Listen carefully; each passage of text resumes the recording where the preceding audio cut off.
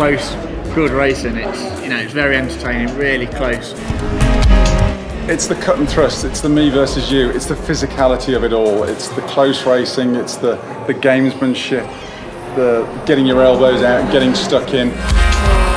Aggressive, um, it's fast, and that's why we pull massive crowds in every weekend. I'm a rookie and it's all about getting amongst it and it's all about the racing.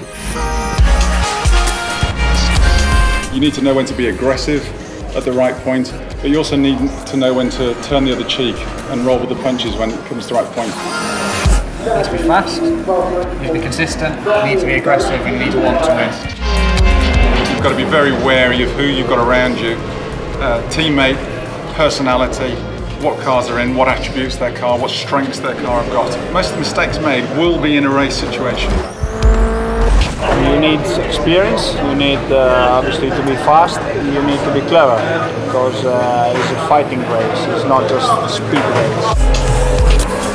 In touring car racing, you don't really have any time to take a breath because there's, if you're on someone trying to work out their weaknesses, you've got someone on your tail trying to work out yours, so uh, you're, you're pretty busy out there all the time.